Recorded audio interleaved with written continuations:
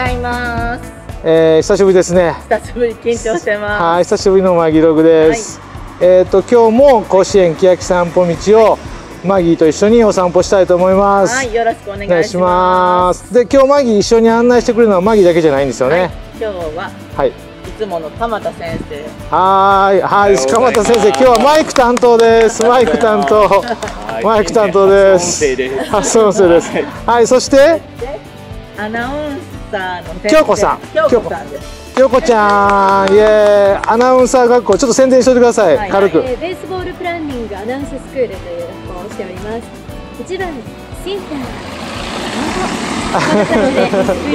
うまい。イエーイお願いします。どう。え、何になろうとしてんの？え？何になろうとしてる？どどこに向かってるんでしょうあーそうね。わかりませんが。はい。で、今日はお邪魔するのは、はい。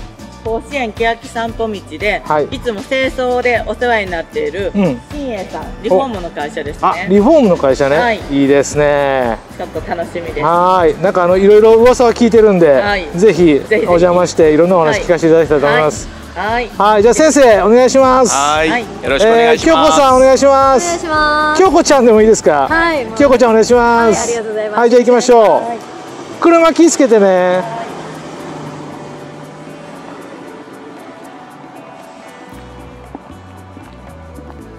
鴨先生、ここですね。はい、ここです。僕も初めてなんで、えどういうところなんかよくわからないんですけど、うんいつもお掃除とかで、はいあのここのスタッフの方々が率先してあのおえ。手伝いいただいているので、あ、街のお掃除を？そうなんですよ。なんかあの、えーすごいすごい。欅散歩道が綺麗なのは本当うんに新栄さんのおかげと言ってもいいかなと思います。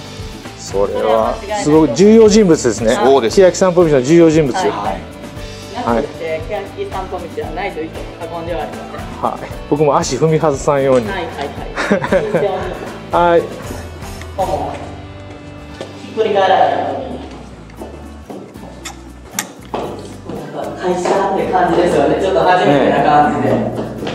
ああ、い。っぱい。こうやってリフォームの実績も写真で貼ってねかっこい。い。会社ですね。ねえ。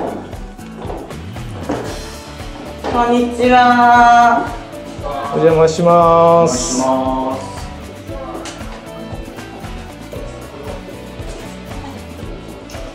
んにちは。こんにちは。素敵な。会社って感じですよね。ちょっとあれ、いいマギいいですマギマギマギこれ何これ？これえ？足跡。あこれ何？これこれ何ですか？この足跡はここであのええー、あ、それは社員社員の皆さんが？え社するときはこんな感じあこあこあこっちにあありがとうございますお疲れ様でしたってことですかすー、ごいえすごいですねー、えじゃあ僕もはいはいぜひぜひ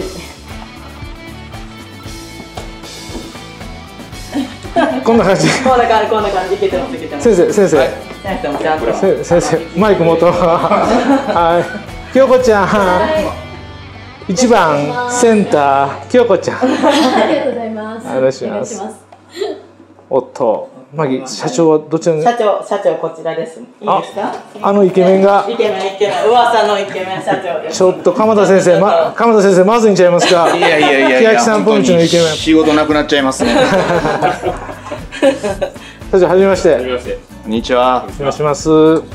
そしてはい。相談役の増田さんです。はい増田さん。あーお願いします。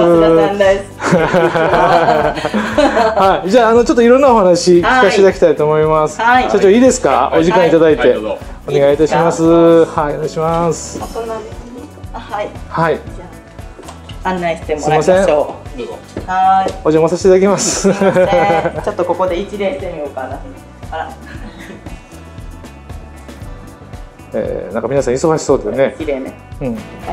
あ、そう、あね。りがとうございました。はいお邪魔します。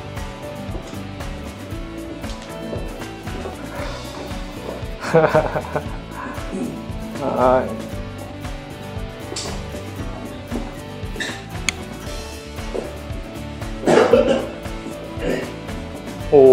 おお、あお、部屋ですよね。そうですね。えおーなんかわあ。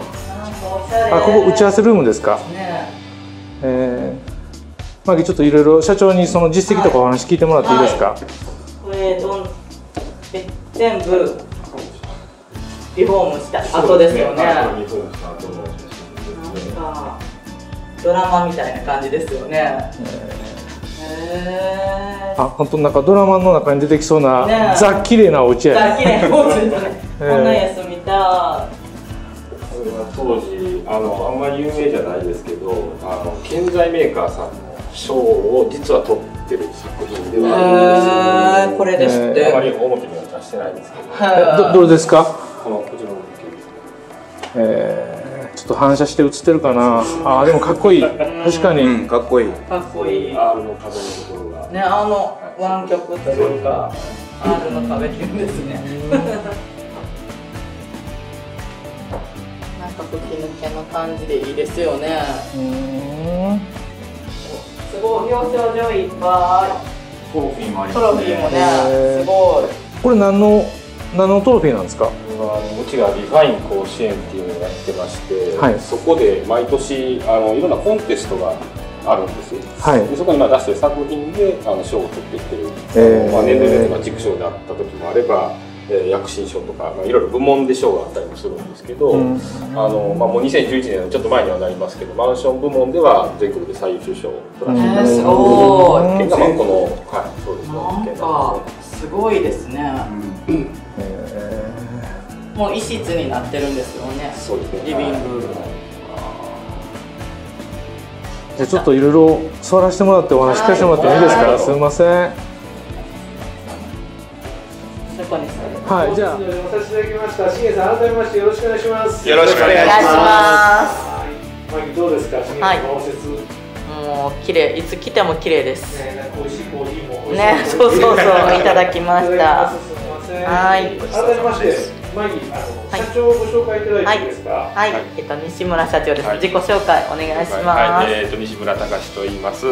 えっ、と私ここの会社に入ってえっ、と20年になるんですけど、あのーまああの営業から工事からいろいろやってきて、えーまあいろいろ話がありまして、今現在えっ、と1年ちょっとになるんですけど、今社長になって、えーやっていってるという状況です。イケメンですね。本当本当いつ見てもご関焼さんの道であのトップ何位に入ります何あのトップ男前ランキング男前って考えたこと。結構それはトップ5には間違いなくなるあくまでマギーが選ぶああそうそう私のやつねはい、マギーが選ぶ男前ランキングはいはいはいはいそしてそして相談役はいはいあの松田と言います。あのえっ、ーと長年社長やってましたけど、社長からあの会長へ、えー会長6年ぐらいやりました。それから今年の4月からまあ一線を退いて、えーえー相談役という立場になってえもうあの仕事のことはもうほとんど99%西村社長に、えーもう預けて、えー、もう何でもかも全部任せてますんで、まあちょっと気楽な立場。あ 今までね頑張ってこられたからそれもいいですよね。ー、マギーあれですもんね、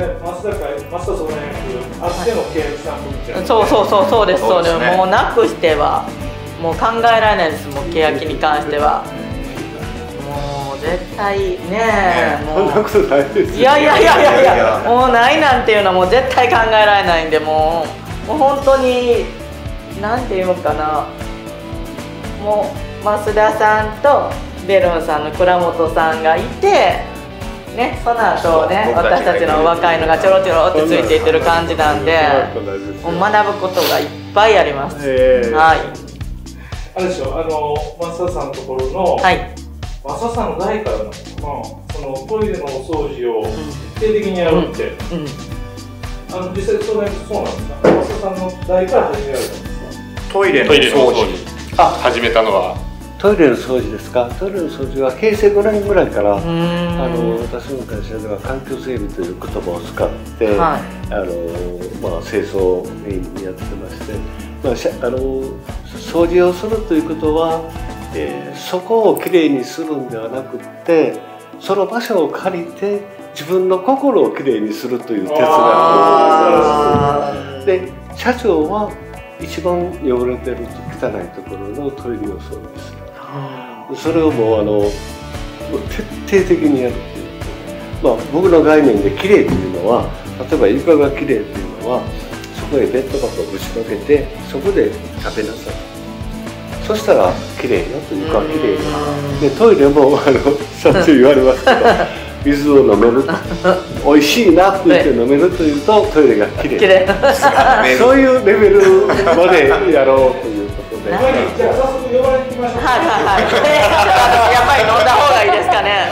みんなにあの増田さんのトイレの水飲んでこいってずっと言われたんですけど、これはどうしよう飲んどきって言われたんですけど飲んだ方がいいんでしょうか。川野先生どうですか川野先生家のトイレは？どうですかね飲めるまではまあ樋口さんちはどうですか？いや私はもう絶対飲めないです。けいこちゃんちゃん家は？